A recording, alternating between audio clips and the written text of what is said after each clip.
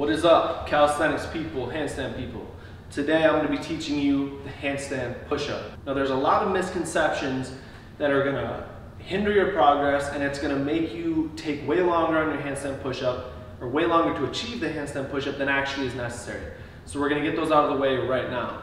Now the first misconception is that you have to have perfect form.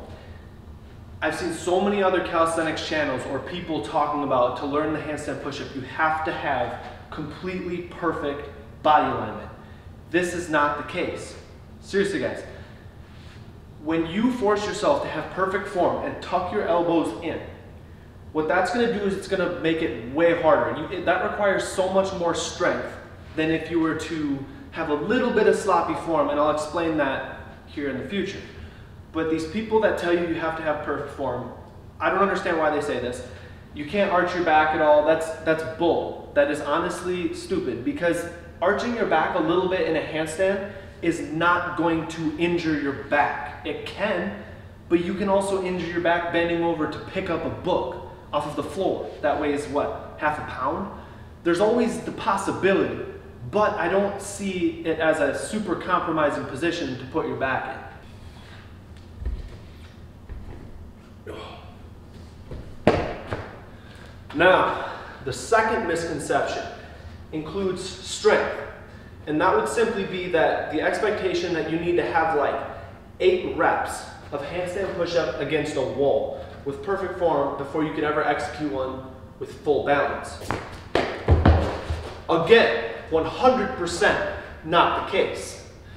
When I learned my first handstand push-up, when I achieved my very first handstand push-up with full balance, I could maybe do like three handstand push-ups against the wall. And I still got the full handstand push-up. So now that we have the misconceptions out of the way, the first step is balance. You have to have really good handstand balance. I think you should be able to do a solid 20 second hold with good form, with perfect body alignment. Now, again, I said you don't have to have perfect body alignment when you're doing the handstand push-up, but that's when you're actually doing the handstand push-up. You should have perfect body alignment. You should have a straight body throughout your handstand when you're doing your balancing. Now, again, work up to 20 seconds consistently. Because if you just do one 20 second hold, you might not be able to do that tomorrow. So you want to be consistent with your handstand holds. This is so crucial. It's kind of obvious. It's like common sense, you know. How are you going to do a handstand push-up when you can't even, you know, consecutively hold just a simple handstand? Just doesn't really make sense. Now, just because your handstand balance might not be the best right now, doesn't mean you can't start or you can't start training for the handstand push-up. So you can still train the strength right now, which I'm gonna get to as step two, but in the meantime, definitely always work on your handstand balance. All right, so now that we have the balance out of the way and you're training the balance consistently, now we gotta work on strength. So First things first, you should be able to do, I'd say probably uh, 25 push-ups before you even attempt this stuff. So the first thing would simply be a pike push-up, which looks something like this. You're gonna assume the regular grip that you would, you know, while you're doing a handstand or a handstand push-up, and then you're gonna put your feet as close to your body as you can, just like this. And you're gonna really try and uh, imitate the handstand push-up form. So what you want to do with this, again I said you don't need perfect form with the handstand push-up, but when you're doing these, these strengthening exercises to build towards that, it's important that you do use perfect form. So with these, use perfect form, okay? So you're gonna position yourself like this, go up like this, and then you're gonna come down, press up. Just like that. Now these are not easy. They're still even hard for me and I can do a handstand push-up. So things you want to focus on is you actually, again, perfect form, like I said, with the strengthening exercises. So you want to keep your elbows tucked in and you want to kind of protract your shoulders. So you don't want to have your shoulders back like this when you're pressing. You want to actually protract. And you don't want to do this kind of thing. You know, like that or you don't want to go like this, like a tricep extension. You want to imitate exactly how a handstand push-up would be.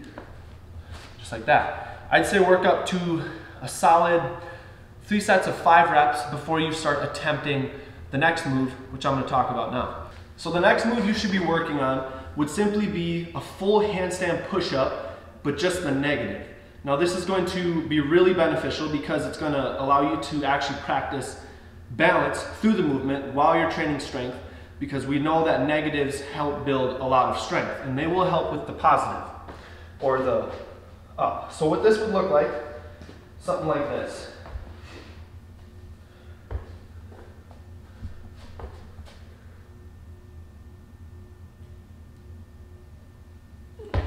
Okay, see that was kind of sloppy. And you want to go as slow as you can on these. And again, try and do it with perfect form because that's going to build the most strength.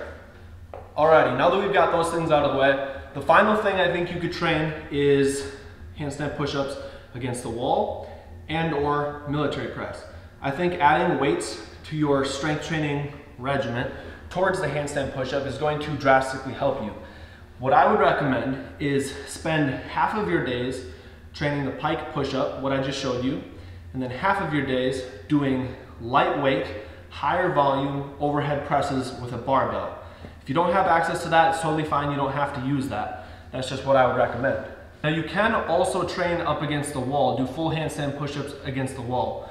But my opinion, I think it's more important to focus on your form and get really a lot better at the pike push-ups and military press. If you can do those two things, I think you're gonna be 100% set to get your handstand push-up. Now this move is gonna take a lot of time, might not take long for you, took long for me, or it might take longer for you. The point is to be patient. Strength training takes time, especially when there's balance included with that strength training. So that's all I've got. Hopefully this helps. And if you have any more questions, drop a comment down below. And please like the video, it really helps out. Support the channel. Peace.